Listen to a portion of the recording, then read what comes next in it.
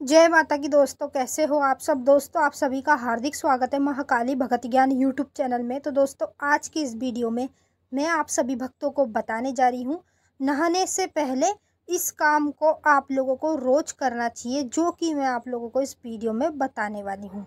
यदि आप लोग काली माता की सवारी को प्राप्त करना चाहते हैं तो नहाने से पहले आप लोगों को इस काम को कर कर ही फिर नहाना चाहिए। क्यों करना चाहिए और इस काम को करने से क्या होता है? पूरी जानकारी के साथ मैं आप लोगों को इस वीडियो में बताऊँगी।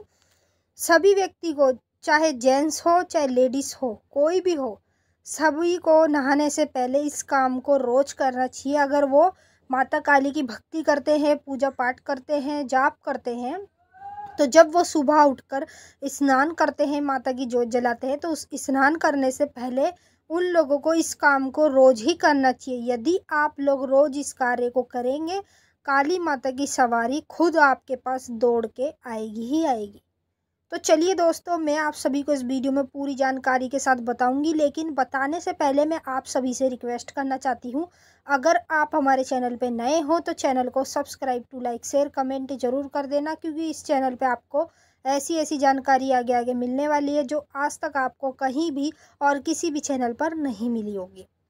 तो जैसा कि दोस्तों, मैं आप सभी भक्तों को बताने जा रही हूँ, एक ऐसा कार्य है जो आप लोगों को सभी को करना चाहिए, जो भक्ति करते हैं माता काली की, ठीक है? अन्य किसी भी देवी देवता की, जिस देवी देवता की आप भक्ति करते हैं, उससे पहले जब आप सुबह के टाइम पूजा पाठ के लिए उठते हैं तो आप सबसे पहले क्या करते हैं? स्नान करते हैं, ठीक है? फिर स्नान करने से पहले आप लोगों को ये काम ज़रूर करना चाहिए, तभी जाकर आपको स्नान करना चाहिए। अगर आप लोग माता काली की सवारी को प्राप्त करना चाहते हैं, माता काली की सवारी दौड़ी दौड़ी आपके शरीर में प्रवेश करेगी, जब आप इस कार्य को रोज करोगे तो।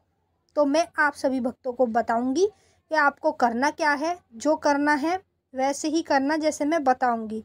कुछ अपना माइंड मत जोड़ना इसमें, क्योंकि ये जो चीज़ है जो मैं आपको बताने जा रही हूँ, ये भक्त लोग ज़्यादातर करते हैं, जो भगत बन चुके हैं। अभी तो फ़िलहाल आप लोग तो भगत बने नहीं हो, अभी तो आप सेवा कर रहे हो।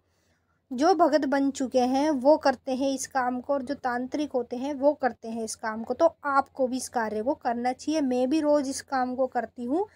आपको भी मेरे साथ साथ चलोगे तो मैं आपको माता काली तक ज़रूर पहुँचाऊँगी एक दिन, और आप खुद ही मुझे कहोगे कि आपने हमें माता काली तक पहुँचा दिया। तो जब आप लोग नहाने जाते हो सुबह के टाइम तो आप लोगों को क्या करना होता है? आप जिस बाल्टी में पानी भरकर आप नहाते हो या फुहारे से नहाते हो, जिस चीज़ से भी आप नहाते हो, आपको क्या करना है? अगर बाल्टी से नहाते हो तो ठीक है। अगर फुहारे से नहाते हो तो भी ठीक है। तो आपको बाल्टी में क्या करना है? थोड़ा सा उसमें आधा गिलास गंगा जल डाल लेना है, ठीक है? नहाने से पहले आपको इस काम को करना है। थोड़ा सा गंगा जल डालना है और दो बूंद सरसों के तेल की डाल लेनी है। ठीक है? ये चीज़ करके आपको पाँच बार, ओम क्रीम कालिकाई नमः।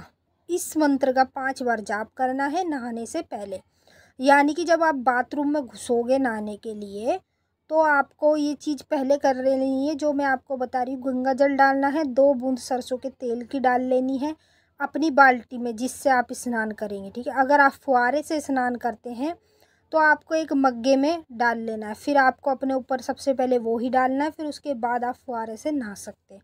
तो आपको फिर ये सब करने के बाद अंदर ही हा, हाथ जोड़ के बाथरूम में ही माता काली का ध्यान करके पाँच बार सिर्फ़ आप लोगों को ओम क्रीम कालिकाय नमः इस मंत्र का जाप करना है। तो जो व्यक्ति चाहते हैं कि सवारी प्राप्त करना और बहुत लोगों की चाहत भी होती है सवारी को प्राप्त करने की बहुत लोग सोचते हैं कि हमारे ऊपर सवारी आए, हम भी किसी इंसान का भला करें, हमारे पास भी लोग बाग आए अपना भला कराने, हम सबका भला करें और हम भी खुद माता काली से बात करें और माता काली से अपने सारे कार्य सिद्ध कराएँ। सबकी मनोकामना चाहत ये होती है।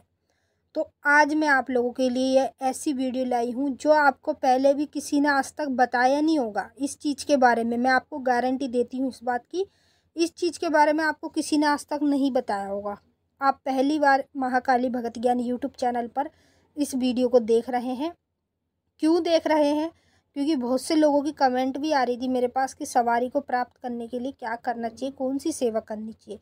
तो ये जो मैंने आपको बताई है, ये आपके शरीर पर प्रभाव पड़ेगा, माता की शक्ति का। यानी जब आप ऐसे करके नहाओगे, गंगा जल, दो बूंद, सरसों के तेल।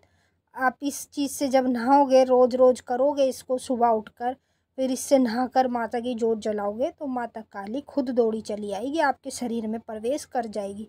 और जब प्रवेश कर जाएगी तो जब जब आप नहाओगे पूजा पाठ करोगे तो आपका शरीर हिलने लगेगा। तो समझ लेना माता काली प्रवेश कर चुकी है। आप कुछ ही दिनों में चलते चलते आपकी सेवा देखकर माता काली आपके शरीर में तो आ चुकी है।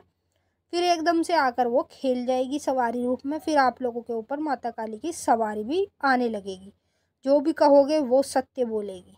तो इस तरीके से आप लोग माता काली की सवारी को प्राप्त कर सकते हैं, जैसे मैंने आपको बताया है। तो चलिए दोस्तों, फिर आपसे मिलेंगे हम नेक्स्ट वीडियो में। तब तक के लिए जय माँ काली, हर हर महादेव। माता काली, आप सभी की सारी मनोकामनाएँ पूरी करें। खुश रहें आप और खुश रहे आपका परिवार। जय माता